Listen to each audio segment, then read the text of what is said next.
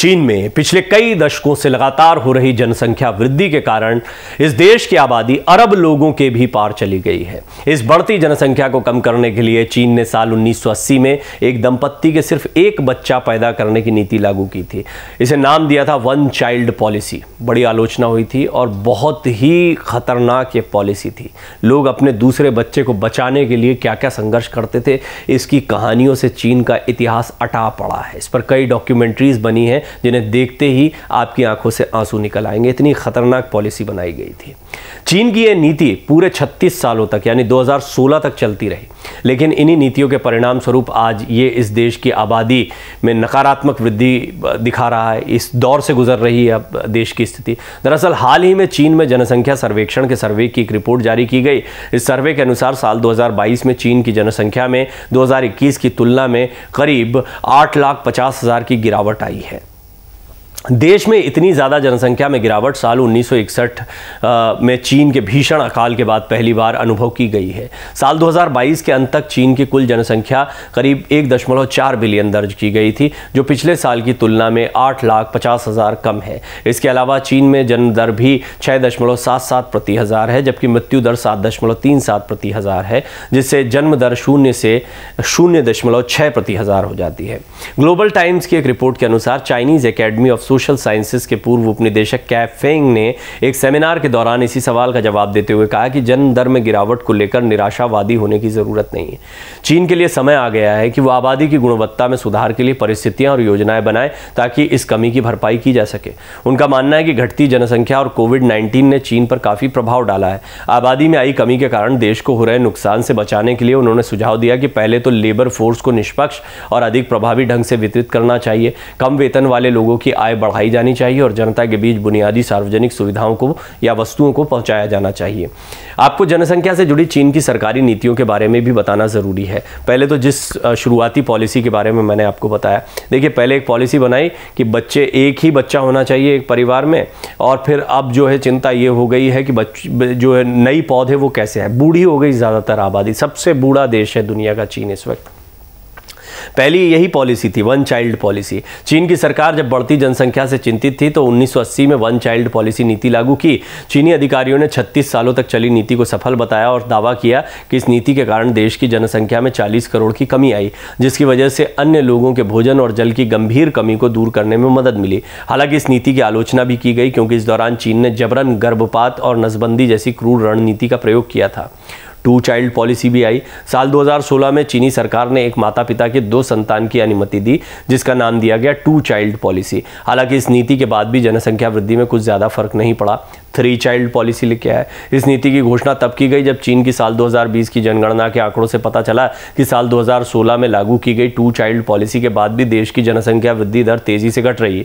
संयुक्त राष्ट्र को अब भी उम्मीद है कि इस नीति के बाद भी चीन की जनसंख्या साल 2030 के बाद और भी कम हो जाएगी। किसी भी देश में जनसंख्या की कमी का असर सबसे पहले युवाओं पर पड़ता है। अगर देश में युवा की संख्या कम होती है तो इससे श्रम की कमी की स्थिति पैदा हो जाती है।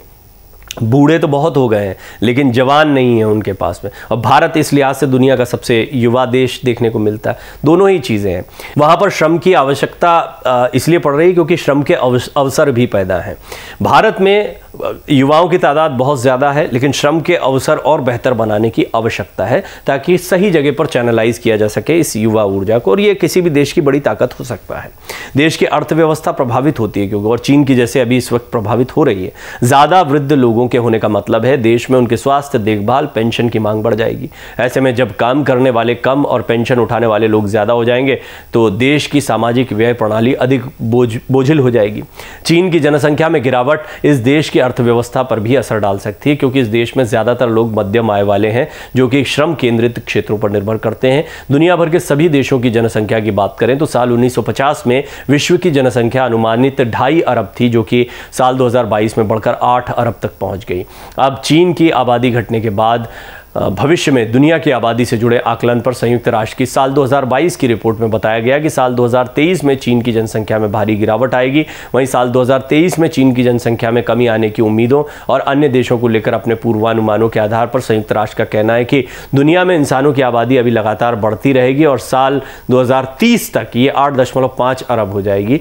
इसी रिपोर्ट के अनुसार साल 2086 तक दुनिया भर की जनसंख्या औसतन 10.4 अरब हो सकती है। हालाँकि ये मानकर चला जा रहा है कि ज़्यादा प्रजनन दर वाले देश की जन्म दर में कमी आएगी, वहीं कम प्रजनन दर वाले देशों की जन्म दर में मामूली सी बढ़ोतरी होगी। साल 1990 के बाद से ही चीन के प्रजनन दर में लगातार कमी आ रही है, लेकिन साल दो हज़ार बीस में ये एक के सबसे निचले स्तर पर पहुँच गई थी। अगर आप चीन की तुलना उसके पड़ोसी देश भारत से करें तो इसी साल यानी दो हज़ार बीस में भारत में एक महिला औसतन दो बच्चों को जन्म दे रही थी, दो से भी ज़्यादा बच्चों, क्योंकि औसत जोड़ा जाएगा, जबकि अमेरिका में ये दर डेढ़ के आसपास थी, एक दशमलव छः चार थी, अगर एग्जैक्ट आंकड़ों की बात करें तो। यहाँ तक कि सबसे कम जन्म दर और बूढ़ी होती आबादी के लिए जाना जाने वाला देश जापान की प्रजनन दर भी उस साल एक दशमलव तीन चार थी। चीन की आबादी की बच्चे पैदा करने की क्षमता में तेज़ी से आई गिरावट के कई कारण माने जाते हैं। इस देश में वन चाइल्ड पॉलिसी के चलते लड़कों लड़कियों के अनुपात में भारी अंतर आ गया। यहाँ एक बच्चे की नीति के कारण ज़्यादातर लोग पारंपरिक रूप से लड़के पैदा करने को तरजीह देते थे, जिसके कारण ज़्यादातर बच्चियों का गर्भपात करा दिया जाता था। इस देश के रहन सहन में इतना खर्च होता था कि लोग ज़्यादा उम्र में शादी करने का फैसला लेते हैं और आबादी में गिरावट की ये भी बड़ी वजह मानी जाती है। चीन के कई सर्वेज में ये बात भी ज़ाहिर हुई है कि यहाँ की महिलाएँ अब एक या दो बच्चों के परिवार को ही आदर्श मानती हैं। यहाँ तक कि कुछ महिलाएँ तो एक बच्चा भी पैदा नहीं करना चाहती है। क्योंकि यही देखते आए बचपन से अब 1980 से लेके जो आज तक होंगे जब पॉलिसीज़ लागू हुई थी, वो सब 40-43 साल के हो चुके हैं, वही महिलाएँ हैं। अब वो, जब वो माँ बनती हैं, वो पूरी की पूरी पीढ़ी बदल गई है। तो उनकी सोच में क्या होगा, आप खुद अंदाज़ा लगा सकते हैं, उन्होंने जो देखा। तो देश में जो देखा जाता है, उसका बड़ा गहरा असर पड़ता है आपके संस्कार पर और फिर देश उसी आगे, उसी तरह से आगे बढ़ता है। पॉलिसीज़ बहुत सोच समझ कर बनानी चाहिए। चीन ने एक पॉलिसी बनाई, उस समय पे उनको लग रहा था कि बस किसी तरह जनसंख्या आने वाले समय में इसके क्या दुष्परिणाम हो सकते हैं, इस पर उन्होंने बहुत ज़्यादा विचार नहीं किया। अब चिंता हो गई है कि युवा आबादी नहीं है, श्रम करने के लिए अच्छी आबादी या अच्छे युवाओं की तादाद नहीं है उनके पास में इनिक्वेलिटी बढ़ गई है। और इससे कई सारी चुनौतियाँ जो है चीन को फेस करना पड़ रही हैं, जो आने वाले समय में और बढ़ सकती है। अब इनके लिए नई पॉलिसीज़ बना रहा है। देखना होगा कि आगे कितना सोच कर वो इन इन कामों के लिए आगे बढ़ता हाँ।